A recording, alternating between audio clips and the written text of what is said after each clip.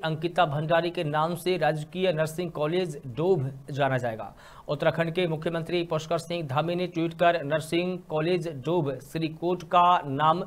दिवंगत बेटी अंकिता भंडारी के नाम पर रखे जाने का फैसला किया है। वहीं अंकिता के पिता वीरेंद्र भंडारी ने बताया कि इस मांग को वो लंबे समय से उठा रहे थे और बीते 28 अगस्त को डीएम के माध्यम से मुख्यमंत्री पुष्कर सिंह धामी को नर्सिंग कॉलेज डोभ, श्रीकोट का नाम, उनकी दिवंगत बेटी अंकिता भंडारी के नाम पर रखे जाने की मांग पत्र भेज चुके थे, जिस पर अब मुख्यमंत्री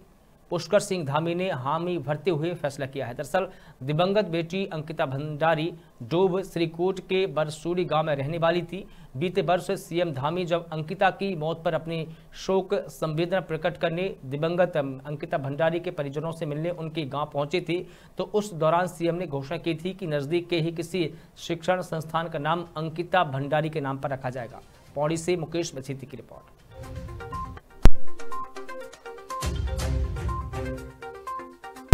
हमने जो एक